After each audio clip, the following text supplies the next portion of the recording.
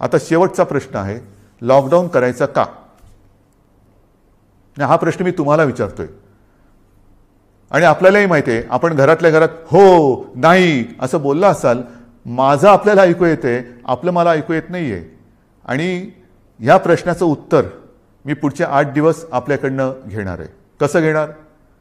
येऊन तुम्हाला भेटणार का? नाही. मी बघणार. ज्यांना लॉकडाऊन नको आहे ती लोक ह्या सूचना ज्या आहेत मास्क वापरणं हात धुणं आणि अंतर ठेवणं हे पाळतील आणि ज्यांना लॉकडाऊन हवा आहे ते विना मास्कचे फिरतील. बघूया किती जणांना लॉकडाऊन हवा आहे आणि किती जणांना लॉकडाऊन नको आहे लॉकडाऊन म्हणजे माझं तर म्हणणं स्वच्छ आहे मास्क घाला लॉकडाऊन टाळा. शिस्त पाळा लॉकडाऊन टाळा. मग काही जण म्हणतात की थोड़ा सा हिंदी में बोलिए. ठीक है दो लाइन हिंदी में बात करता हूं. क्या आपको लॉकडाउन चाहिए? लॉकडाउन चाहिए? हाँ या ना?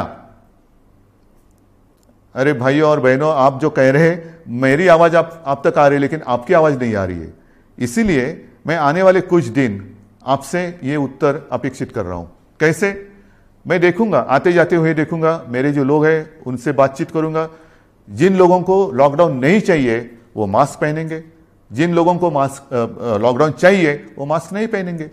सिंपल है। लॉकडाउन अगर नहीं चाहिए तो जो तीन चीज़ हमेशा मैं कहते आ रहा हूँ, मास्क पहनिए, हाथ धोइए और एक दूसरे से एक सुरक्षित अंतर अंतर रखिए। देखते हैं येत्या आठ ते दहा दिवसामध्ये किती जणांना लॉकडाऊन हवा आहे आणि किती जणांना लॉकडाऊन नको आहे आणि म्हणून पुन्हा एकदा शेवटी सांगतो, मास्क घाला लॉकडाउन टाळा, मास्क पहनिए और लॉकडाउन को ना कहिए. अंतर ठेवा आणि लॉकडाऊन